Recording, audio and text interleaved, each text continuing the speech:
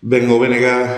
vimos de manter un encontro con representantes de FOAMPAS para abordar a grave problemática que se está a producir en 14, en 14 comedores escolares de colexios públicos da nosa cidade que son xestionados pola Xunta nun réxime de xestión indirecta, isto é, a través de catering. Falamos de 14 comedores que atinxen a máis de 1.800 nenas e nenos que comen cada día neles. A denuncia por parte das AMPAs ten sido reiterada a respecto das gravísimas deficiencias na xestión destes comedores que, como ben sinalaba a nosa deputada no Parlamento Galego Carmela González, xa motivaron máis de centos e centos de queixas por parte das familias que nunca recibiron contestación. Falamos de deficiencias tan graves como que se cheguen, como que cheguen comidas frías, como racións insuficientes, como incumprimento dos propios menús ou mesmo que se teñan chegado a extremos de alimentos en mal estado a resposta da Xunta de Galiza diante das denuncias e das queixas das familias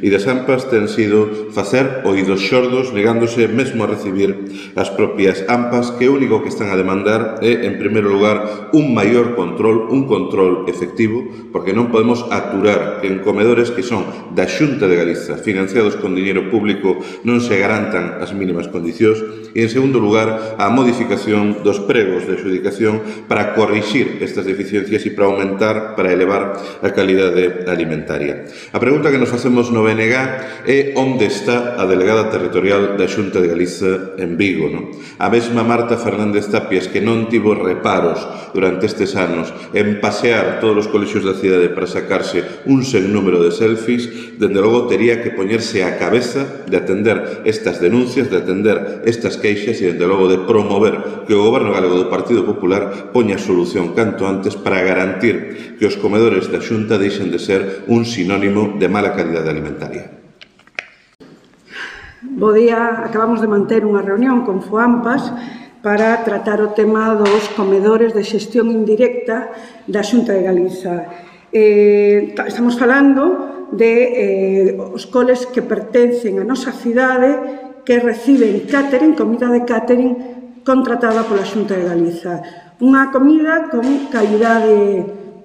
escasa, por decirlo suavemente, con comida que chega fría, con comidas eh, que non chega para todos os usuarios e usuarias e que eh, as AMPAs están reclamando a diario que se eh, garantice esa calidade. Eh, a Xunta é a responsable deste servizo de comedor, da, é a responsable de darlle de xantar aos nosos nenos e nenas e como tal ten que tomar as medidas precisas e necesarias para que esa comida sexa adecuada para os nosos nenos e nenas.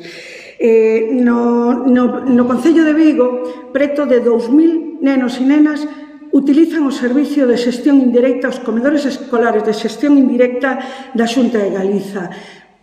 Neste ano, centos de usuarios e usuarias, centos de nais e pais, fixeron queixas por este servizo que ninguna soa destas queixas foi contestada, non recibiron resposta a ningunha desas